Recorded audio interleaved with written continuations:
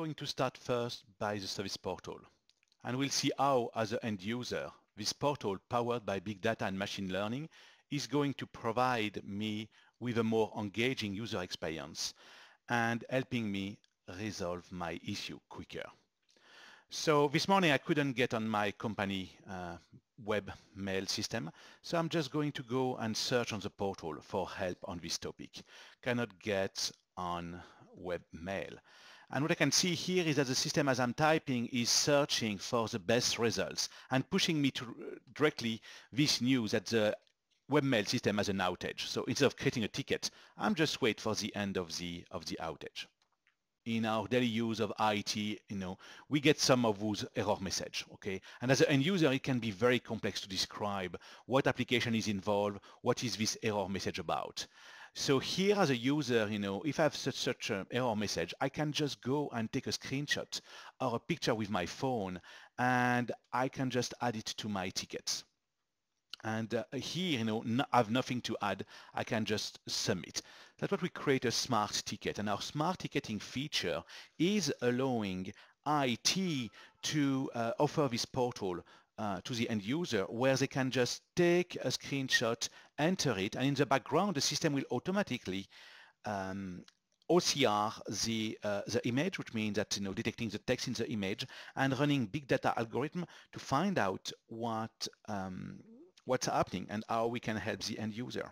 And here I can see that uh, automatically the portal is popping up um, information saying that a new solution has been providing to my request. I can just go and look at my request where we can see that the text has been analyzed and actually a solution has been provided that my account was created and I need to retry. So I just have to, you know, accept this and my ticket is closed. As my ticket got closed, I can review a few tasks that I have, in particular this survey from IT to see how happy I was with the service. I can just respond to this survey and put a textual comment that IT is going to be able to analyze with our big data, hot topic analytics. Using my phone, I can easily create a smart ticket. I have just to add a picture or um, an error message from my gallery add it to the tickets, and without typing any text, I can submit my ticket, which will be analyzed automatically on behalf of IT. Now let's have a look at the virtual agent that is here to help me 24 by 7. How to connect uh, to the company network from home. And automatically the virtual agent um, is helping me uh, you know, resolving my issue. So I can see that typically, you know, it's um, going to help me with a number of knowledge article, um, like, you know, how to connect my HP EliteBook to the company network. I can directly review uh, the article and see if it's helping me or, or not helping me. Uh, in my case, I saw something else as well in uh, the proposal I was getting.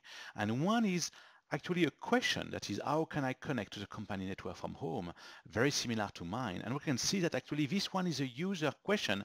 Shane Wei, a colleague of mine, you know, was asking this question and somebody answered him saying that I, you just have to, to launch Pulse Secure, this pre-installed on your PC. So you know, here, you know, it's directly resolved. I don't even have to go further.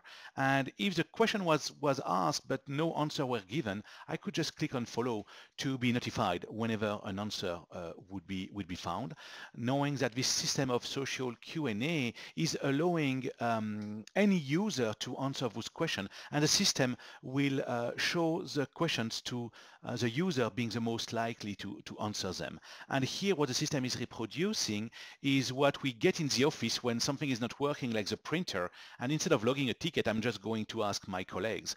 That's the same, you know, powered by our big data platform. Last thing I wanted to do here is go and look at, uh, you know, what I own, my service and assets. So I can see here that I have a computer, but as well I have a cloud service, you know, from coming from Amazon. So I can just review my subscription and here on my subscription, I can see um, I can see all of the information on this subscription, including its cost, and I can see a number of related articles, or if I have any issue with my subscription or want to cancel it, the system automatically is pushing to me related actions. And the strength of the system is that nobody in IT had to configure the system to behave this way. It looked at similar uh, support uh, information or similar article and is pushing them to the user in the context of this specific Amazon offering. And obviously here, you know, I switch from my laptop to uh, my iPad or can also go and bring up uh, my phone. I'm just going to ask the system, hey, I can't get my email on my mobile. And here you go, system finding information, and I have directly a knowledge article able to help me at the top of this list. I'm just going to click on it and review this uh, article uh, with step-by-step -step information, including rich media. I can also use the portal for my non-IT needs. In uh, my company, the portal was also set up for uh, human resources. So I can go in human resources and very easily look at uh, the information that is being provided and for instance, you know, how how I can get a leave and what are the policy. So here I'm reviewing the maternity and paternity leave um, policies, for instance. And obviously if it's helpful, I can just go ahead and, and, and say that it was. And when I've done that in the same way, I can uh, just fill my leave. And before I do so, I'm going to check my eligibility. Can I take a paternity in February?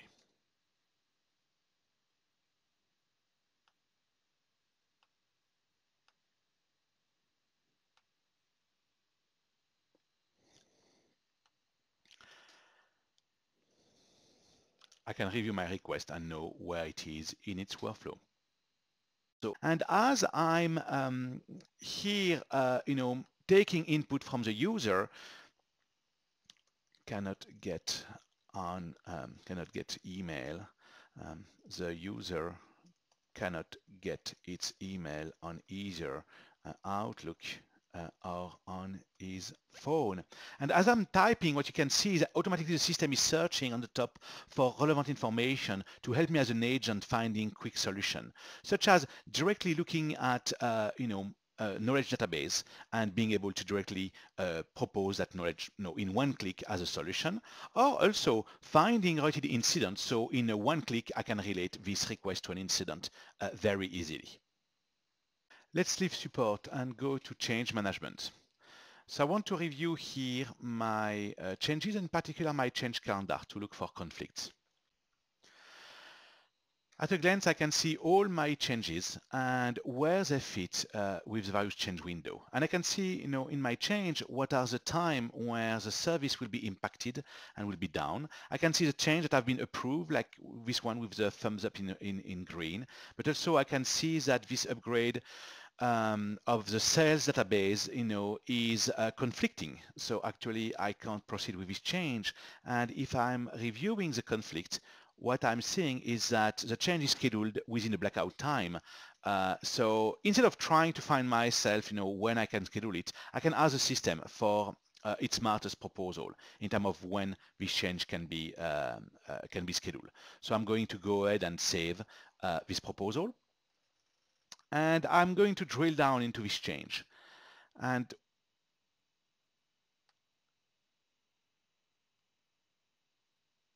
what I can see in this change, obviously I can see the information about you know sales database. By unfolding here the uh, right panel, I can see that this change uh, is uh, providing me with information in terms of defining the risk I'm taking and the probability for success. And it's using a similar change done in the past uh, by using our big data IDOL engine. And here I can see as well the top past changes that have been successful or the ones that have been, uh, have been failing so I can review what happened, maybe who was involved with this change so I can help my change having a really low to no risk and at the end being successful. Let's create a change. Here I need to, um, to patch a, Windows Server. So patch um, Windows Server with uh, Service Pack 6. We need to patch um, the server which IP is 10.60.5.10 with Service Pack 6. What you can see here is that I was typing, the system has inspected what I was typing and run some big data search across the whole CMDB, which is populated with our discovery information. And it has recognized that this is a valid IP address matching this CI. So what this allows me to do is two things. First, I can check that I'm indeed here uh, linking the right uh, CI, and yes, that's the right server and also it will force end user to link both in incident or in ticketing or in change CI to uh, those artifacts. And we know it's very important for uh, speeding up resolution, but as well provide, uh, providing better analytics. In my case, you know, I can even use this information and drill down into the CI. I'm not going to, to, say, to save this change.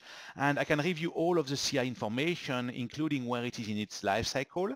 And you know, I have all the topology available so I can see what the impact on VCI is going to have, you know, on the chain and of my business services. Another example of using data to provide you with immersive analytics is our change analytics. So typically here the system is looking at all the changes and um, you know calculating some key performance indicators that allow me to understand how am I doing, you know, whether it's in change success rate or in how much of my uh, change uh, management is based on standard changes and how much I'm automa automating. And the system is able to find uh, a number of insights out of those data to try to help me uh, finding what I should be doing.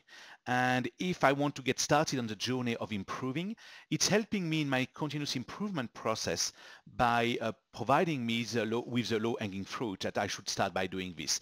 If I'm about automating some change, you know, then uh, you know, automating the you know, Windows patch uh, would be a great idea.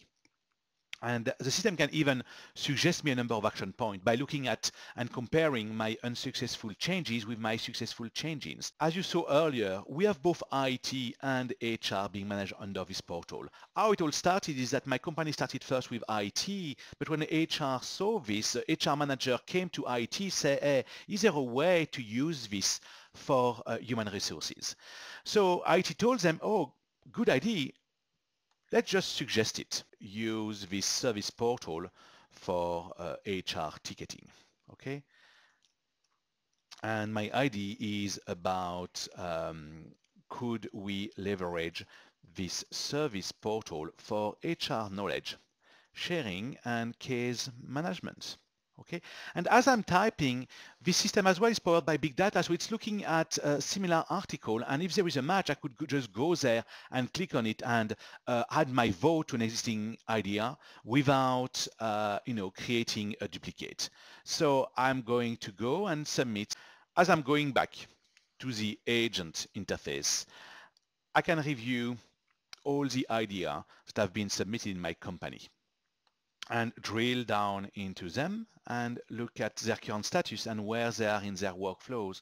Some of those uh, ideas could be, you know, moved to, to request or to change, or some of them, you know, are really variable and are being moved to proposals.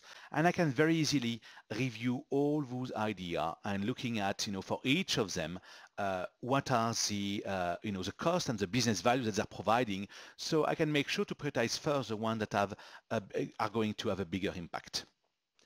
Our service management automation suite is multi-tenant and this console allows you to manage those tenants and the customer account linked to them.